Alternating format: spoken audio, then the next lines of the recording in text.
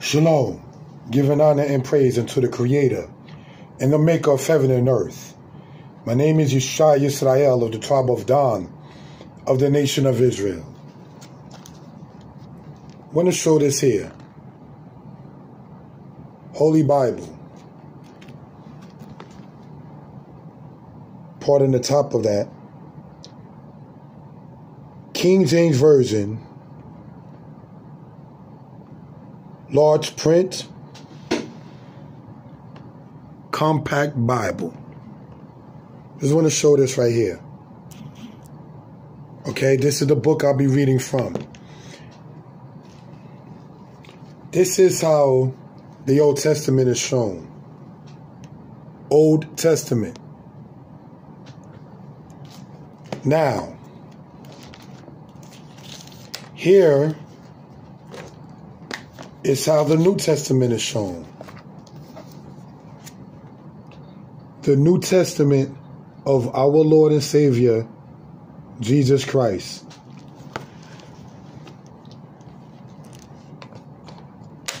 Again, I show, for reason and purposes, the spirit or the genre of this. Old Testament. In here, the New Testament of our Lord and Savior, Jesus Christ. That shows us that in this book here, called Holy Bible, they don't even address it by saying the Old Testament, the word of the Lord, the word of the prophets, the law, the prophets and the writings, don't they don't say that. Just Old Testament. Yet once it comes down to the New Testament, not only is it called the New Testament, it actually shows in, a possession of, as the same went, our Lord and Savior, Jesus Christ. Saved from what? What did he save one from? Let's go in the letter or the epistle of Galatians. We want to go to Galatians chapter 3 for it to be read in this case. Galatians chapter 3, we're going to start in verse 13. Christ hath redeemed us from the curse of the law, being made a curse for us. For it is written, Cursed is everyone that hangeth on a tree. Now, in Matthew, Jesus is given to the Romans to be crucified, to be put to death according to brothers and sisters who are messianic, Jesus' death or Jesus' death was the great sacrifice for the nation of Israel. There's a couple of things if one understands the Torah or one understands the laws that this book here simply cite as Old Testament that we want to go over. Let's go, if we will, to Deuteronomy chapter 15. Deuteronomy chapter 15, we want to start in verse 21. And it says this And if there be any blemish therein, as if it be lame or blind or have any ill blemish, thou shalt not sacrifice it unto the Lord thy God. This tells us that any sacrifice that is done has to be without blemish. Now, if Jesus was beaten, if he had stripes, if he had the crown of thorns or thorns on his head, if he was cut on his side and was made to bleed, that's a blemish. That is not what you are to offer in that regard. The lamb that is offered, also, we want to point out for a sin offering in Israel is never a male lamb. Female lamb, yes. Male lamb, no.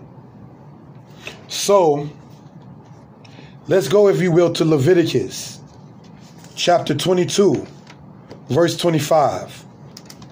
And it reads on this Leviticus chapter 22, verse 25 says the following Neither from a stranger's hand shall you offer the bread of your God of any of these, because their corruption is in them, and blemishes be in them.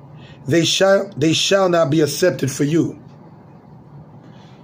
This right here is telling us from a stranger's hand, that is to say, from the hand of a person that is not an Israelite. You cannot offer that unto the Most High. You have to be self sufficient and have your own. So now, if we take the understanding and the teaching of the Gospels that the Israelites said as Jews, delivered Jesus to Pontius Pilate to be crucified, and that was to be said as the great sacrifice for the atonement of Israel's sins. If we are not, according to the law in Leviticus, supposed to offer anything to the Most High from the hand of the foreigner, since when was it right to offer anything or anyone to the hand of the foreigner for our sin offering? Let's read this again. Leviticus chapter 22, verse 25. Neither from a stranger's hand shall you offer the bread of your God of any of these, because their corruption is in them and blemishes be in them, they shall they shall not be accepted for you. So there is no way within the law of the Most High. The thing that we're supposed to use as our base. See, when people say such and such is or is not Torah based, the base of something is the base of something. That's what you're based on. That is what your foundation, the base of a building, the basement, the foundation of something. Well, within Israel, it's supposed to be the Torah. So if you're not Torah based, if your foundation is not in the Torah, then what is it in? So, getting back as we will, brothers and sisters, into this particular aspect, it says that we're not supposed to offer the bread to the Most High that come from the hand of a foreigner. So I ask again, not to be redundant, when in the law of the Most High was it acceptable or correct to offer that which is already blemished or not blemished from the hand of an Israelite to the hand of a foreigner for a foreigner to make the atonement offering for us? Never was that the order Never was that the decree from the Most High. This is why it is important to understand certain things. Okay? So, just wanted to present that. Brothers and sisters, shalom.